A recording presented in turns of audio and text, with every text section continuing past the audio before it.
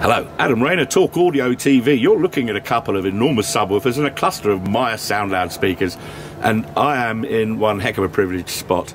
This is the inside of the auditorium for the Michael Jackson One show by Cirque du Soleil here at the Mandalay Bay, and I've been given the most amazing access, well, to the gentleman in charge of sound. This is Mr. Aaron Beck, who, like me, if anybody's phone goes off in their pocket, you get phone first, Aaron, don't you? Usually, Unless you yes. know an Aaron or an Abraham, in my case, Adam, yes, so we get phone first, don't we? Yes. Now, um, we came and saw this show last year and were absolutely, completely blown away, my wife and I. And I've basically uh, swag permission to come and ask about the kit. So, Aaron, tell us that diagram on the screen there, that is just sweeping across this awesome desk here. This is a control for the show. This is the main audio equipment behind the proscenium arch for the show, is it not? Yes. Uh, we're looking at uh, Meyer Sound's RMS speaker monitoring system. Uh, and this tab specifically, we're looking at the main proscenium left and right loudspeakers, which are Meyer Sound's Mica uh, loudspeakers, along with some 1100 LFC, low frequency uh, subwoofers that we use for left and right low frequency uh, reinforcement in the theater. Uh, you were saying that those subwoofers, when we were talking earlier, were one of the things that were suddenly upgraded when the governor heard them being demonstrated. So we have to have these. Yes, absolutely. Yes, seriously potent. So that's what's behind the proscenium arch. The stuff I was all zoomed in on just now was, um, well, the auditorium is bustling, bristling with, with other enclosures. Um, the uh, four clusters of three are at the top of that are the ones right by the stage, are they not? Yes. and then there's another couple of those 1100 woofers that are hanging up. Um, what are these enclosures? Because there's lots of them. The um, Uh, these are Meyer Sounds JM1P horizontal loud uh, array loudspeakers. and uh, the sheer number of them means that every row is getting near field, are they not? Yes. Um, which means that the overall SPL in here is, is, as my mate Mick would say, able to crush. you do know each other if you're in the same Yes. biz, don't you? Yeah. Yeah. You can tell he's my mate, yes. Um, but this is just the main audio scene. Show us the surround screen, Aaron, because there's lots on that. Yeah, we've got a total of 67 surround speakers. Uh, Uh, my goosebumps come up. Everything from uh, this is uh, almost every uh, series in Meyer Sound products. Uh, we've got MSL4s, we've got UPQs, we've got UPJs, we've got some older legacy MTS4A uh, loudspeakers pointing straight down. Uh, we've got some melodies, we've got some M1Ds, uh, and even some micas.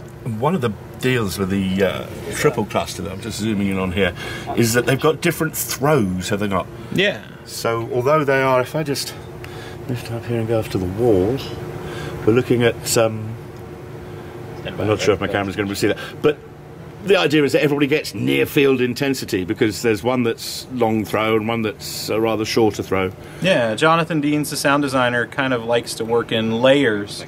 Uh, so if you're in the middle of the theater, you're going to get a little of the MSL4 and a little bit of the UPQ, uh, and a very even left to right surround image. Uh, if you're, say, in the left of the theater, you're going to hear this smaller box, short throw UPQ, uh, UPJ, along with an MSL4 from the other side. So kind of wherever you're at, left to right in the theater, you get that very even uh, surround sound image. Which Uh, is crucial to the whole sort of emotional involvement, isn't it? yeah, just gives you that very uh, kind of close experience. And we do the same type of thing with the rear surrounds. So M, uh, M1Ds in the back for short throw, and then a little bigger box melodies, and then some micas. So kind of front to back, get that same layer, Yes. layered effect with surround there. And um, well, I've heard some other insights from other Cirque shows here in town um, that you were telling me about that uh, the technology that you had in common and, and that you didn't, but um, because of course this is proscenium arch production as against in the round. Um, but I'm laughing at myself, and the thing I'm almost most excited about, just uh, immediately to the side of your head there, just in shot slightly, is the back of these seats because every single punter, as we'd say in UK, gets a little bit of individual treatment. There is an enclosure behind every single customer's head, Aaron. Yes.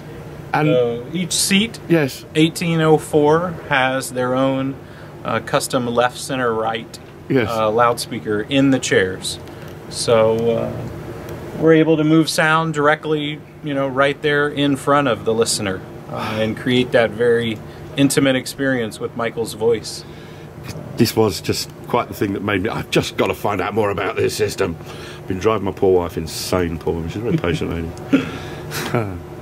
and uh, that's a big piece of that um, fabulous glass smash sound for me. The uh, the bit that really made me go.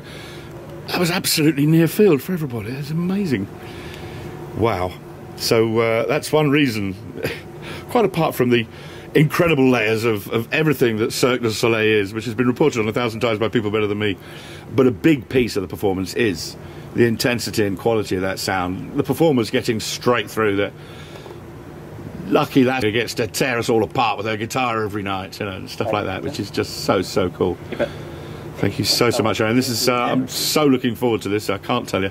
Um, uh, just a huge thank you to uh, Meyer Sound and all the people who've been involved in organising it. There's, uh, yes, I'm just one very very happy fat journalist from the UK ready to enjoy the show tonight. Mr. Beck, thank you so so much. Thank just want to shake your hand for having one of the single coolest jobs in the whole of Vegas, dude. Thank you, sir. Cheers. Awesome.